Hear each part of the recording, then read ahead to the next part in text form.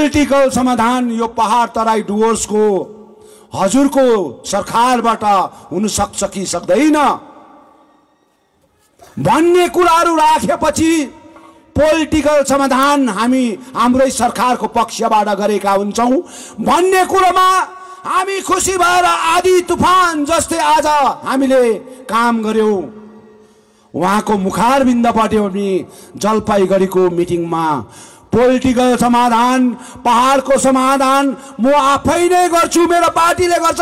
उहाँको मुखारबिन्दबाट भएको हामी त्यसको विश्वास गर्छौँ।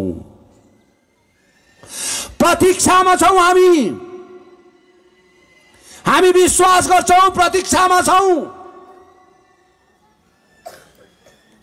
हामी पहाडलाई अशान्ति चाहँदैनौँ पहाड आज खुसी भएको देख्न चाहन्छौँ।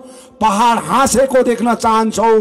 पहाड पहाड आज एकदमै रमाएको हेर्न चाहन्छौँ। पहाडलाई आदि कल्चो बनाएर मर्नु कि बाँच्नु भन्ने स्थितिमा बनाएर राख्न चाहँदैनौँ हामी।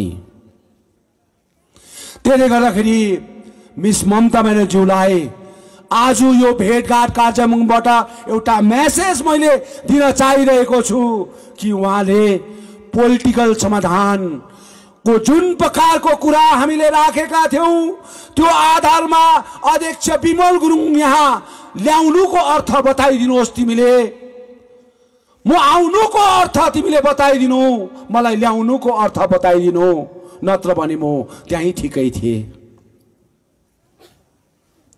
नत्र भने म त्यहीँ ठिकै थिएँ एउटा इमान इज्जतसँग त बाँचेका हुन्थे डर हुन्थ्यो मलाई पीडा हुन्थ्यो। हिँड्दा दूर लाग्यो भने आज मखलर र आज चौवालिस डिग्री सेल्सियसमा पनि मखलर र आज टोपी लगाएर चस्मा लाएर हिँड्नुपर्ने अवस्था थियो। सहन्थे नि। यस्तो डरलाग्दो पीडा त आज म आएको पन्ध्र महिनाभित्रमा मैले सहिरहेको छु। कसले बुझ्छ मेरो हृदयको दर्द? मनको दर्द कसले बुझ्छ? यो त सहिरहेको छु। चौवालिस डिग्री सेल्सियसको घामलाई सहेर बस्ने थिएँ नि मेरो इमान र इज्जत त बाँचेका हुन्थे। मेरो स्वाभिमान बाँचेका हुन्थे।